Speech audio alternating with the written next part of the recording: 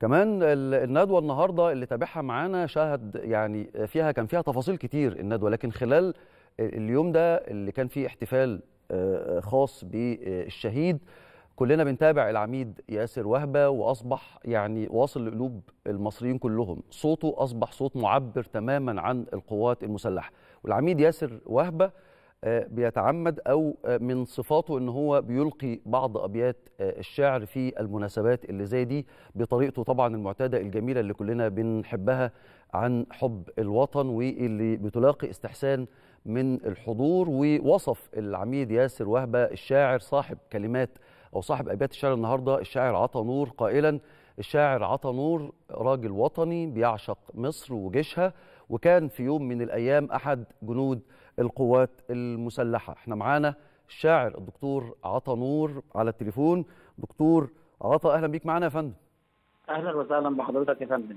يعني هي تحياتي لحضرتك وللساده المشاهدين. أهلا بحضرتك كل سنة وحضرتك. طيب في الأول وأعتقد إن دي مش أول مرة آه، العميد ياسر وهبة آه، صوت مصر زي ما إحنا بنسميه وزي ما حضرتك سميته في بعض أبيات شعرك آه، يستخدم أبياتك في آه، هذه المناسبات الوطنية المهمة.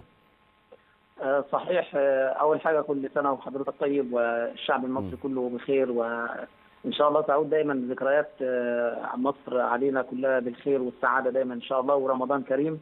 آه، تاني شيء المناسبة اليوم مناسبة ملهبة والحقيقة سيادة سيادة اللواء ياسر وهبة. سيادة اللواء آه، أنا أنا أنا حابب أصلح المعلومة لأن أنا آخر مرة قابلته كان آه، لكن هي اللواء ياسر وهبة. صحيح. إحنا نوجه له التحية والتقدير اتفضل. على كل ما أداه من أداء راقي ومميز من أول الحقيقة أنا يعني من أول ما سيادة اللواء ياسر وهبه برز على الساحه آه، كم يعني مقدم لهذه ال- الندوات التثقيفية وأنا كان من طموحي وحلمي أن أصل بقصائدي إلى هذا الصوت الذهبي الذي لم يتكرر في تاريخ مصر.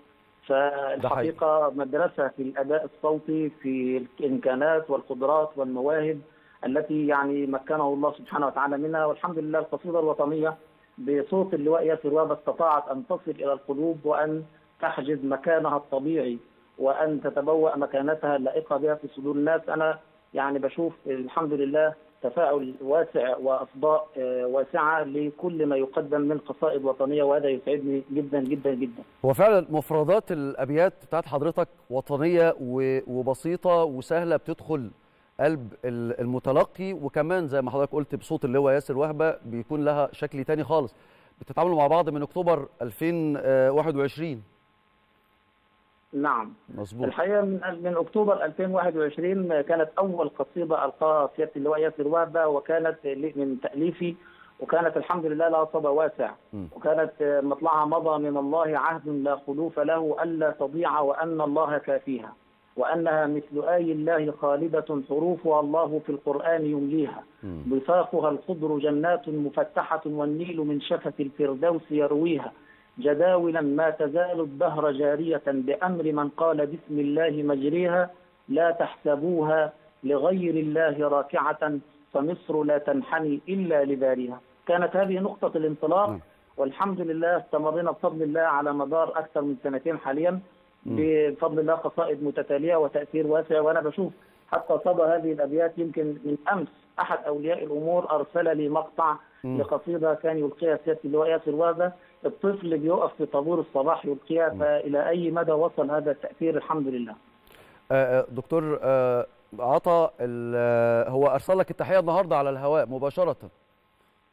الحقيقة كانت تحية آه، يعني أنا سعدت بها جدا وللأمانة هي أنا للحقيقة أول يعني فوجئت يعني هي مفاجأة سارة بالنسبة لي وسعدت بها سعادة بالغة ولم أكن أعرف الحقيقة أن أن أنه يعني سيذكر اسمي ويشرفني بأن يضع هذا الوسام على صدري آه، أن يعني يذكر اسمي وينسب لي الأداب لكن هي هو الحقيقة أنا- هي أخلاقيات وقيم المؤسسة العريقة القوات المسلحة وأخلاقيات هذا ال- القائد المميز الرائع في كل جوانبه الأخلاقية والمهنية.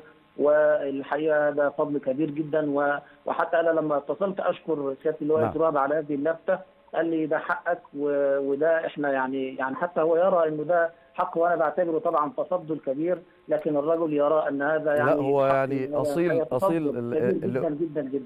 اللي هو ياسر يعني إنسان اللي يعرفه على المستوى الشخصي إنسان أصيل جدا وقالها لي مرة على فكرة. أنا كنت في مرة بسأله بقول له أبيات الشعر قال لي أنا لازم أنسب الفضل آه لأهله. واعتقد حضرتك سبقت يعني ثلاث أبيات شعر كانوا مكتوبين فيه. أنا بصراحة عجبوني جدا. آه، مستنيين إن شاء الله في كل المناسبات الوطنية القادمة المزيد من ال- آه، يعني الأبيات ال- القيمة والمتفردة من آه، الشاعر الدكتور آه، عطا نور. أنا بشكرك جدا لوجودك معانا. وطبعا لابد إن إحنا نوجه الشكر والتحية لإدارة الشؤون المعنوية في قواتنا المسلحة على التنظيم الجيد لفعاليات الندوة التثقيفية سنة عن سنة. الأمور بتتطور وأيضا كل البروموهات اللي بتتعمل وكل الأفلام الخاصة بالمناسبات الوطنية إذا كان يوم الشهيد إذا كانت آه، 6 أكتوبر كل مناسباتنا الوطنية الشؤون المعنوية إدارة بتعمل آه، بجد وباجتهاد وعلى أحدث النظم. أنا اشتغلت معاهم فترة لما كنت مراسل وعارف إن آه، كيف تعمل إدارة الشؤون المعنوية. آه، ناس وطنيين متخصصين جدا على آه، قدر عالي جدا من الكفاءة والمهنية. بنشوف شغل أفلام وتقارير وبرموهات وفعاليات على أعلى مستوى. فكل الش- آه، الشكر وكل التحية وكل التقدير لابطالنا في إدارة الشؤون المعنوية. اللي دورهم لا يقل أهمية ابدا عن دورنا دور الإعلام ودور أي وطني محب لهذا البلد.